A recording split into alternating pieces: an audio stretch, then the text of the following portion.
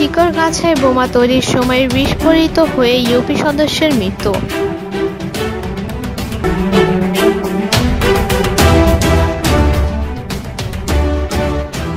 দেশ news TV সারা দেশ সারাদিন।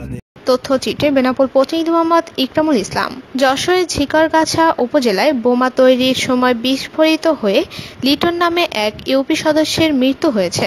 সোমবার দিবাগত রাত দুটার দিকে উন্নত চিকিৎসার জন্য ঢাকায় নেওয়ার পথে তার মৃত্যু হয়। লিটন ঝিকরগাছা উপজেলার হাজিরবাগ ইউনিয়নের পাঁচপোতা গ্রামের সাবেক ইউপি সদস্য আব্দুল ওয়াহাবের ছেলে। স্থানীয়রা জানিয়েছেন, সোমবার দুপুর একটার দিকে ঝিকরগাছা উপজেলার পাঁচপোতা গ্রামের মৃত রফিক মেম্বারের বাড়িতে লিটন মেম্বার সহ কয়েকজন সন্ত্রাসী বোমা তৈরি করছিল। এ সময় অসাবধানতা বশত বোমা বিস্ফোরিত হলে সে গুরুতর জখম হয়। পরে তার সাথে থাকা লোকজন তাকে উদ্ধার করে গোপন স্থানে নিয়ে চিকিৎসা চালাচ্ছিলেন। পরে তার অবস্থার অবনতি দেখা দিলে সন্ধ্যার পর অ্যাম্বুলেন্স করে তাকে উন্নত চিকিৎসার জন্য ঢাকার উদ্দেশ্যে নেওয়া হলে ঢাকা মানিকগঞ্জ পৌঁছালে রাত আটটার দিকে গাড়িতেই তার মৃত্যু হয়। নিহত লিটন মেম্বার ঝিকরগাছা পাঁচপোতা গ্রামের আওয়ামী লীগ নেতা ওমর আলী হত্যাকাণ্ডের অন্যতম আসামি ছিলেন বলে জানা গেছে। ঝিকরগাছা থানার অফিসার ইনচার্জ আব্দুর রাজ্জাক বলেন, আব্দুর রাজ্জাক বলেন, স্থানীয়দের মাধ্যমে ঘটনার সংবাদ পেয়ে ঘটনাস্থলে পুলিশ পাঠানো হয়েছিল, কিন্তু পুলিশ গিয়ে আহত কাউকে খুঁজে পায়নি। তবে ঘটনার সাথে জড়িতদের বিরুদ্ধে আইনানুগ ব্যবস্থা গ্রহণ করা হবে।